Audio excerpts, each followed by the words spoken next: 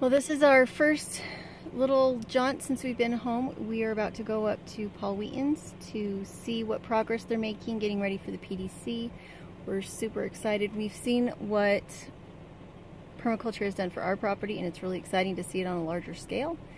So hopefully you'll enjoy coming along with us. I thought about making a bed in the back, but my mom volunteered to take the girls and I don't know how late we'll be in there tonight. I think eventually we're going to wish that we had made up a bed in the back so we could just sleep and pull over and sleep when we're tired. But because we're bringing the dog, we're bringing a lot of groceries with us, there wasn't enough. It's a little bit warm today, which is fantastic.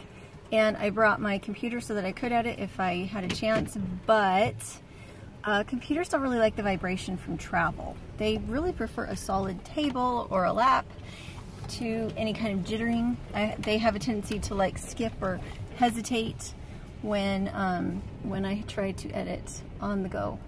So we might just hold hands.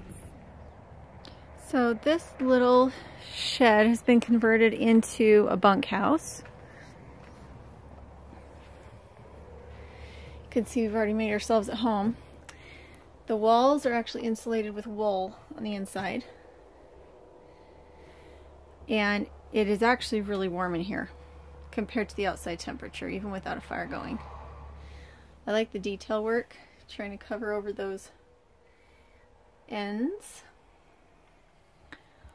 A little cute corner. Recycle, garbage, and compost. Then there's your firewood. Made some cute little chairs, rocket heater with the mask behind it. And then a full-size bed with the twin size over the top. So it's great for a family. I actually think it's really cute and cozy.